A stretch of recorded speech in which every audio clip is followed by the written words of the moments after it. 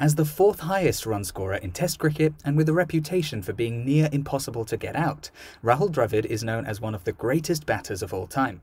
Here are three things that made him exciting to watch. First up is his brilliant defensive technique. On most days, it felt like Rahul had an answer for anything a bowler could throw at him. Because he was so good at staying in and blocking out good balls, he was given the apt nickname of The Wall. He once went 40 balls without scoring a single run, and all 40 of them were a treat to watch. However, he was not simply a defensive player. There's a reason why he scored so many runs. Rahul knew exactly when to attack and his wristy shots were always fascinating to watch. Lastly, we have to talk about Rahul's determination and aggression.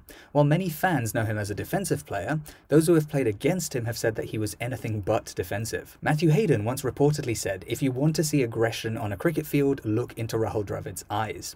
Shoaib Akhtar has also talked about how Rahul Dravid was the most difficult person to bowl to. What was your favourite knock from Rahul Dravid? Let us know in the comments.